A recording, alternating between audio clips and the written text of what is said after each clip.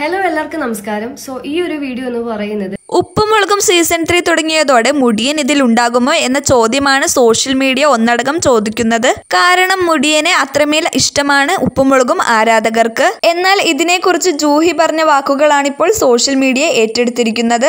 കാരണം ജൂഹി മുടിയനെ പോലെ ആദ്യം ഉപ്പുമുളകിൽ നിന്ന് പിന്മാറിയ താരമായിരുന്നു. പിന്നീട് ലച്ചു ഫാൻസിന്റെ നിർബന്ധ പ്രകാരവും കാര്യങ്ങളെല്ലാം പറഞ്ഞു തീർത്തതും കൊണ്ടാണ് ലച്ചു വീണ്ടും തിരിച്ചു വന്നത്. എന്നാൽ മുടിയൻ വിഷയത്തിൽ ലച്ചുവിന്റെ അഭിപ്രായം ഇങ്ങനെയാണ്. അതേപോലെ മുടിയൻ മുന്നേ വന്ന് നിങ്ങൾ സംസാരിക്കുന്നതൊക്കെ കണ്ടിരുന്നു. അപ്പം മുടിയൻ അല്ല ഒന്നുമില്ല ഞങ്ങൾക്ക് മിസ് ചെയ്യുന്നുണ്ട് പ്രേക്ഷകർ കാണാൻ. ആ ഉപ്പുമുളകില്ല അപ്പൊ ഇനി മുടിയൻ തിരിച്ചു വരുമായിരിക്കും